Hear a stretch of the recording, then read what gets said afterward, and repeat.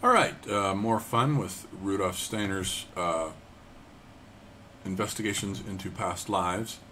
Um, this time, he takes a different tack, and instead of starting with a modern individual and going back to earlier incarnations, uh, what he does is start with the earlier incarnations and then find where they end up in in the West. And his model here is all about uh, the the attack, the two pronged attack of Islam on the West. And as it turns out, um, you know, I have I've spoken uh, quite a bit about cultural immune systems, and the West has had an incredibly strong cultural immune system uh, against Islam. But there are other ways of getting into a culture than on the physical plane. You can get in through reincarnation, as it turns out, according to Steiner anyway. Um, so he starts out here in the age of Charlemagne. Here, here we have an image of Charlemagne, um, whose dates are 748 to 814, and um, contemporary with Harun al-Rashid. He really wants to draw your attention to uh, this guy here, Harun al-Rashid, who reigns in Baghdad uh, his dates are 763 to 809. Um, so what he does is he starts out by saying the court of Harun al-Rashid was at Baghdad, which had been recently built, uh, shifting Islam to the east. Islam moves from Mecca to Medina, then into uh, Damascus at Syria, then eventually by 800 uh, over to the east with the building of Baghdad. It starts shifting east, eventually towards Persia um, and the Shiite world. But he wants to draw your attention to the fact that this is an incredibly, the, the court of Harun al Rashid is incredibly sophisticated. Lots of great mathematicians and astronomers. Um, he brought in all kinds of talent. This was a very sophisticated cosmopolitan civilization. By contrast with that of Charlemagne at Aachen and uh, which was very primitive and barbaric. They could barely read and write. Uh, they had scholars like Einhard, who wrote the first biography of Charlemagne. It's okay, I've read it.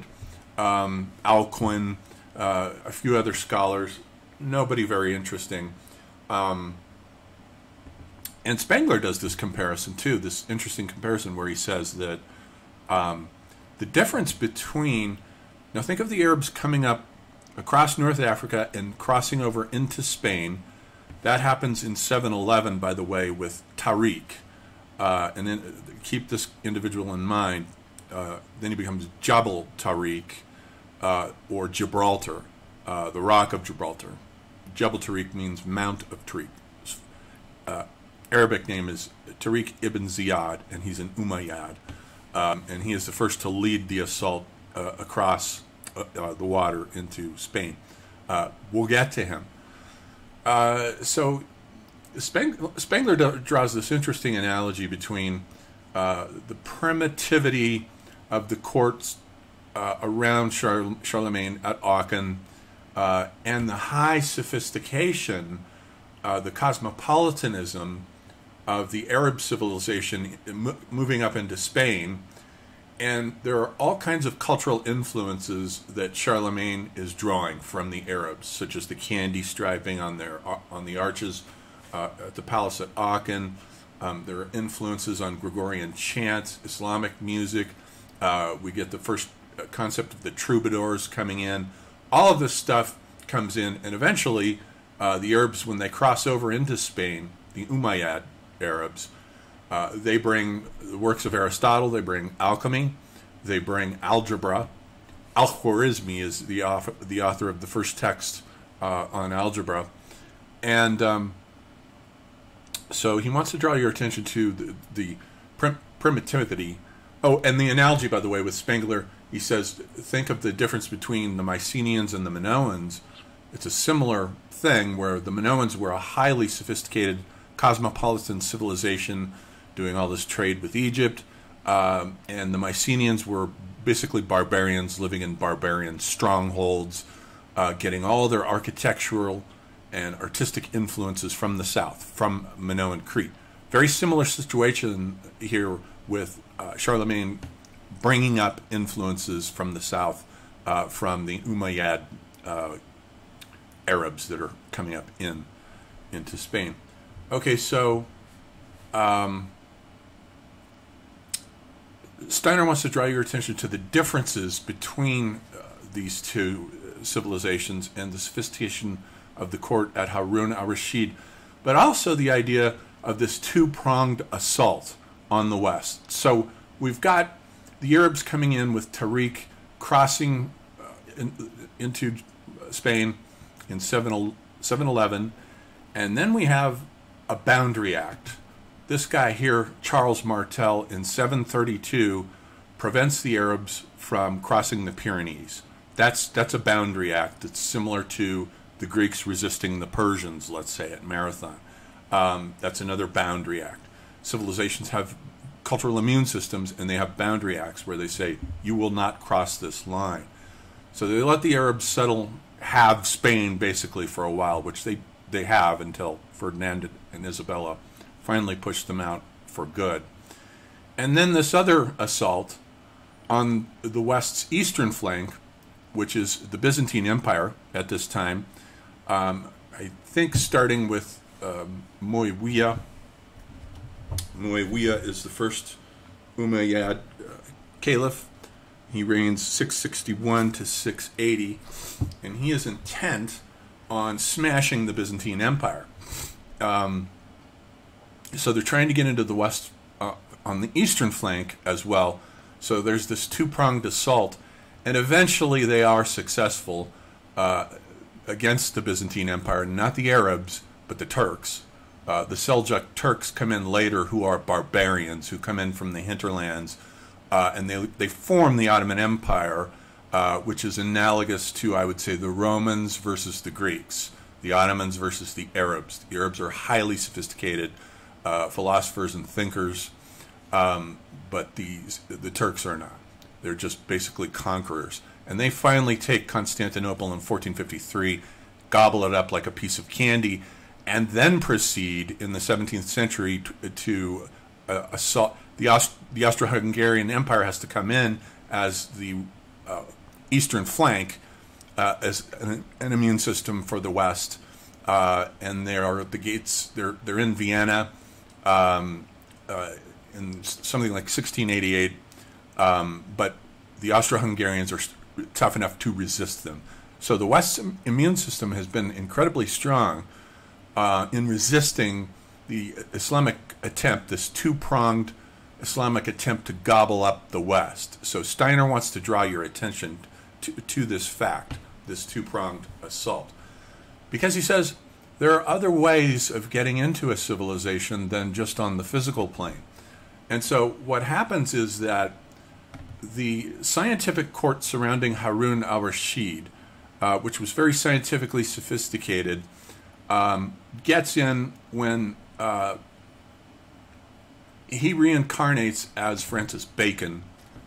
Uh, Francis Bacon, Lord Lord Verulam, as he's also been called, um, and Bacon, of course, is the initiator of, of the official scientific method. He writes the New Atlantis. Uh, he introduces a kind of materialism. Um, and as far as Steiner is concerned, this this is bringing in uh, the scientific mentality surrounding the court and, and, its sophistication surrounding the court of Harun al-Rashid. It gets in through Francis Bacon as really the first sort of materialist thinker. And then so um, he draws your attention to this guy Tariq, uh, Tariq ibn Ziyad, um, who becomes named Jebel Tariq or uh, Gibraltar, basically, who is the first in 711 to lead the assault into Spain. And um, he says that Tariq then later reincarnates as none other than Charles Darwin, uh, who is also a materialist. Um, I'm not sure what the connection is between them. Uh, but it's fascinating that if it's true um, that the Arabs are finding a way to get into the West on the astral plane instead of the physical plane. So this has been happening right under our noses for a long time here. Um, and then he says, um, at the court of Maimun, um, uh, who, whose dates are 786 to 833, at the court of Maimun, there was an astronomer, astrologer, a, a guy whose name we don't know, uh, a personality uh, that we don't have the name of in the records, but he was an incredibly learned astronomer and astrologer uh, in the court of Maimun um, at uh, Damascus, and who reincarnates then as Laplace, the great astronomer Laplace. So, surprise, surprise, the Arabs are getting in on the astral plane. They are infecting the West. Uh, they can't get in on the physical plane, so they find another way. When they cross through to the other side, the gate of death, they come in on the astral plane. Um, so they come in that way.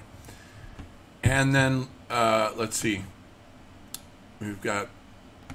Um, uh, let's see. This guy here, Muawiyah, and Muawiyah uh, was the first Umayyad caliph. Uh, his dates, he, he, reigned 661 to 680, and he's the first Umayyad caliph in uh, uh, Damascus. And he basically just, he wasn't a great ruler, um, but he constantly assaulted the Byzantine Empire. Um, and he really is the originator of the conflict with the Byzantines. Uh, and the war between the, the, Byzantine Empire and Islam just went on forever, all the way down to 1453. And he says that, uh, so Muawiyah tried to, to do this conquest, and he says that Muawiyah then finally reincarnates as none other than Woodrow Wilson, um, who presided, he was president during World War One, uh, and signifies the beginnings of the construction of America's universal state uh, those wars, uh, the World War One and two, um, Spengler compared to, or World War One, he died before World War Two got going. Spengler compared to the Punic Wars, um, which the the Romans won and led to the creation of the Roman Empire, as analogous to the Americans uh, constructing a universal empire. Although he didn't see that that it would be the Americans. He thought it would be uh, the Europeans doing that. Um, and so uh, this is a fun chapter, I think, um, to think of these thoughts, even if these th- insights are not true. They're just so much fun to think about. Um, the the Arabs getting into the West on the astral plane instead of the physical plane. Um, there's always a way, isn't there? Um, so we'll leave it at that for that chapter.